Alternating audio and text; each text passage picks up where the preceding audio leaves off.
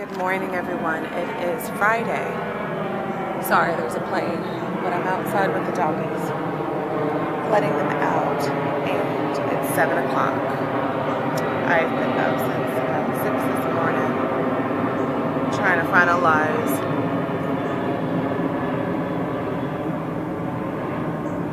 I've been up since 6, 6 this morning trying to finalize everything for surgery. So we're letting the puppies out before we get on the road. But I thought I would come on and kind of give you guys an update so far. So yesterday registration, pre-registration was fine. Um, I went and gave blood, registered, again talked about the finances, but you know, uh, you know we're ready for this. We're, we're ready to kind of move on and get healthy again. So I just wanted to give you guys an update.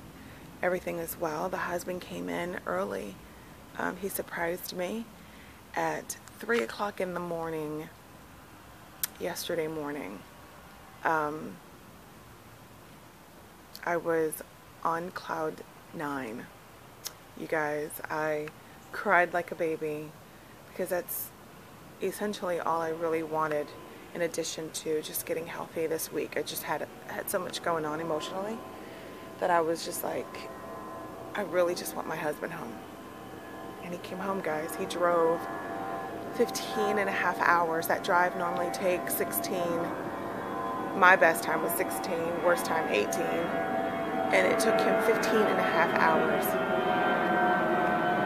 He's a dedicated man. So we are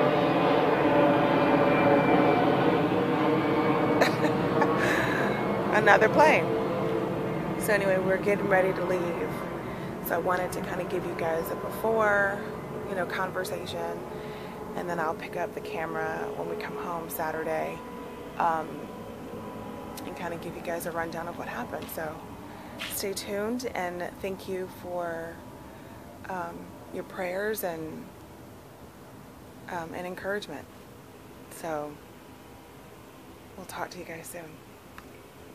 Hey guys, so it's day two of surgery, or post-surgery, and I am home, and I'm doing well. Um, I am in some pain today, as I was in yesterday. Uh, surgery took longer than expected um, because the nodule was much larger than they assumed. Um, so the incision, I don't know if you guys can see it's right here.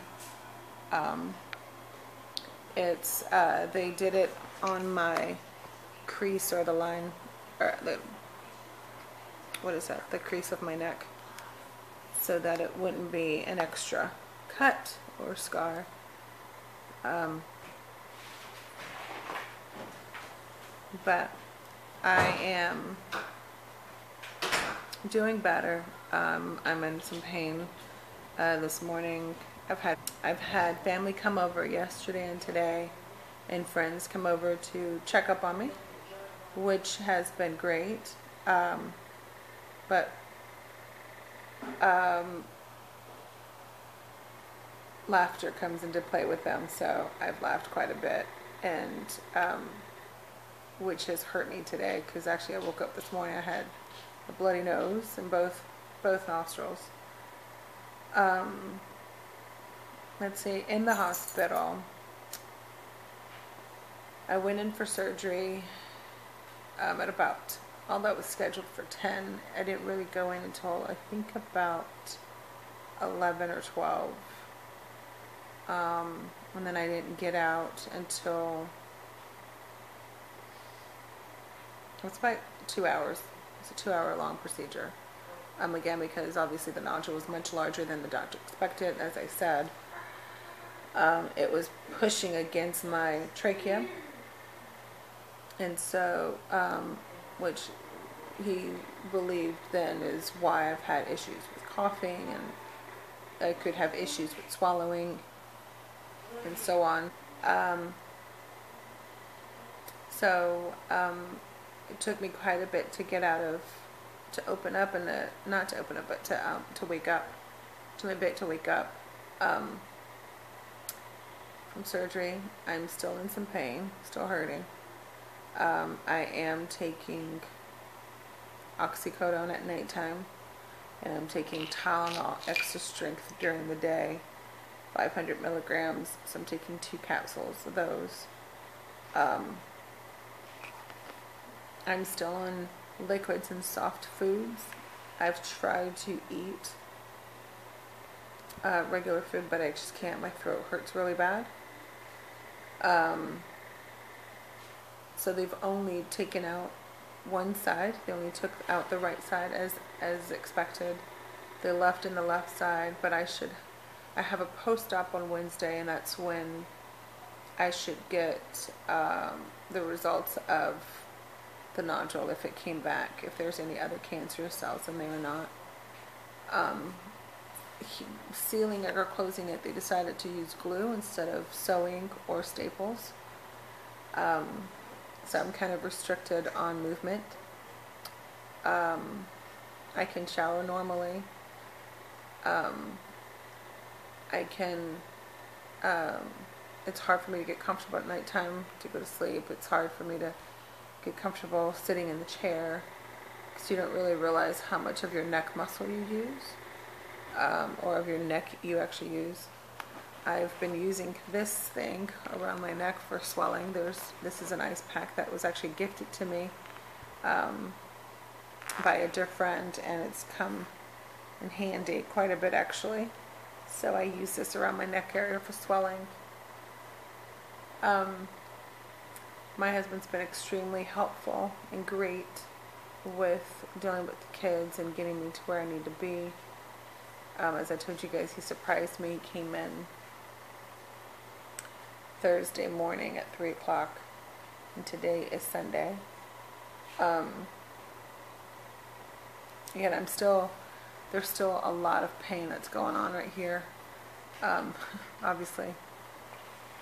Um, just, it's, sometimes it's bearable, sometimes it's not.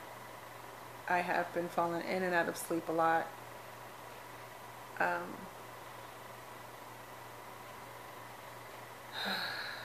so I've been managing. Um,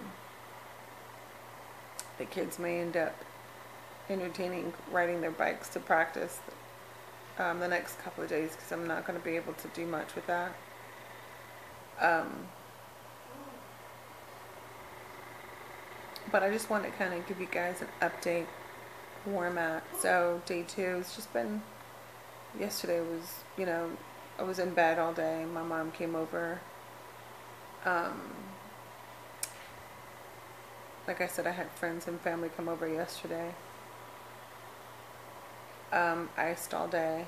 And then today, same thing, family and friends came over today, iced all day, and a little bit more pain today. And then, um, um, just I guess my plan is to stay in, you know, just to be comfortable. I've been eating jello and uh, pudding. Um, so, but I'm just a lot of prayer, and I'm thankful for those who've prayed over me, and I'm thankful for those who prayed for me, um, and for the physician. Um, this is a healing. This is a process, of course of, of going through this. So now the journey begins on dealing with living with one thyroid or living with partial thyroid um, because the procedure that I actually had was called a partial thyroidectomy. So living with half a thyroid is going to be challenging because we don't know if my one thyroid is going to produce enough hormones. Um, so we're hoping that it does. I am scheduled, like I said, to go and do my post-op, but then I'm also scheduled for my to visit with my thyroid, my endocrinologist next week to make sure that you know I do blood work and get my numbers right. Um, so I have that scheduled up. So I mean, there's a lot of things that are in, in play. Um, I can't scream. I can't talk loud because my throat hurts a lot. Um, I can't cough. I can only kind of just do the clearing of the throat. Um, I have noticed one big thing. The first thing is I no longer have this lump on my throat anymore. Second thing is I feel like I can breathe. Uh, second thing is I can breathe. Um, I have not been able to really see if, if it's affected my, my swallowing because obviously it hurts to swallow some. But so far breathing's been great. anyway, but I just want to give you guys an update on day two. Um, uh, day two after surgery, obviously. So, um, it was pretty scary in the hospital sometimes because of how medicated I was. They put me it gave me a strong dose. Um, but I will give you guys a follow-up after my post-op. So that'll be in a couple of days. I'll let you guys know how that goes. And then follow up at the end of the week so you guys can know how I'm doing after that and, and so on. So, but I, again, I want to thank everyone for praying over me, praying with me, praying for me. Um, this is just the beginning of a journey that um, I believe is manageable, that I know that I can do. So um, I just ask that those who are believers in Christ to continue to pray because this is not, this journey is yet to be over. So um, just to keep praying. Um, so thank you all and um, we'll see you guys in the next video. Bye.